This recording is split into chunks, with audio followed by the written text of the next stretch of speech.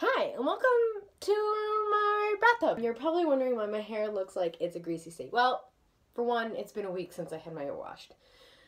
Don't think it's gross because of my color. I can only wash my hair once a week or else it will fade very quickly. But I also have a system for how I wash my hair.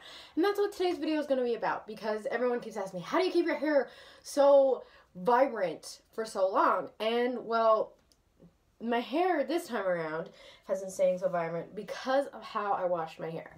So it helps that I use the Ellumen shampoo recommended by my hairstylist. I currently go to the Hair Factory here in St. John's. Heidi is amazing. She does fantastic work with my hair. And it's the Ellumen dye that's in my hair, so I use the Ellumen shampoo. And for my conditioner, I just use Herbal Essences Color Me Happy. It does a pretty decent job. I don't really put conditioner on my whole head. It's usually just around my ends, which get really dried out a lot of the time. So, first things first, I need to get my water to the right temperature. The key with bright colors in your hair is to use cold water I've found that if my water is too cold, my hair will get greasy a bit faster because I guess it's not getting a clean enough rinse. So I like to have it a nice kind of measure between cold and warm. So I start off with my hot water. Also, make sure you have a towel with you because it's going to be really hard to grab one when your hair is in your head, flipped in front of your face. Okay, so the water's a little hot. Like bathtub hot. Bathtub hot. Um, so we're to cool that down a bit. Get us some cold water. It's like a science. You kind of have to figure it out. And just remember that it's to feel a lot colder to your head than it is to your hand.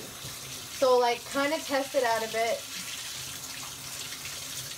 It really is a science getting the right temperature for your hair. I think I'm okay. And then I just pull my head over. Just let me cry a little bit longer. I ain't gonna smile if I don't want to. Hey man, we all can be like you. I wish we were all rose colored too. My rose colored boy. So I had a lot of dye coming out of my hair, partially because last week I got my hair refreshed. So if you're washing your hair for the first time after you're getting your hair dyed, don't be afraid when you see all kinds of color coat down your drain. Your hair is not going to revert back to your original color.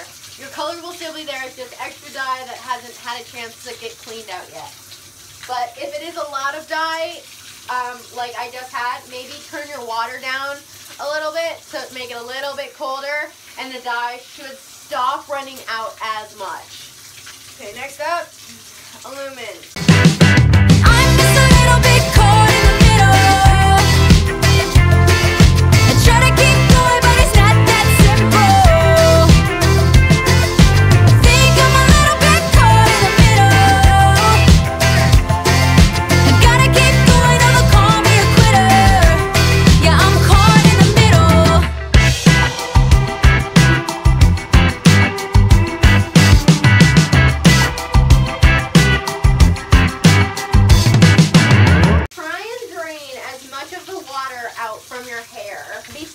Ellumen. like my hair likes to soak in water and putting conditioner and water together isn't necessarily a good mix. So I'll only put a little bit of conditioner in. That's probably a bit too much, honestly. Um, and I only do the ends of my hair. Sometimes conditioners can be really hard on those bright colors the whiteness of the conditioner can really bleach it out. So you don't want to do too much. I usually only do the ends, like I said, to keep them uh, nice and fresh. And then that way, when the color gets muddy, it's just to trim the ends off. Okay, once you think they're good, you can leave it in for a minute if you want. I usually don't, just because I'm too impatient and I've been on my knees for a while, so. Don't let me let you down. Hey, baby, I'm not. your superhuman. And if that's what you want, I hate to let you down. I your hopes up. Now I got that I'm gonna be the one to let you down. And then that's it. Normally at this point, I'd be jumping into a full blown shower. So what I'll normally do is try and squeeze out some water. And then I will braid my hair haphazardly. Just so it's gonna be like out of my face a bit more when I'm showering and out of my way. And then it just kind of pops up like that. And then I stand up and have my shower. So yeah, that is how I wash my hair. Now I look a little funny. Um, as I'm not a hairstylist, so definitely talk to your stylist about your hair care routine when you're getting your hair done, especially if it's your first time getting bright colors or something really funky because they will be able to tell you the best products to use.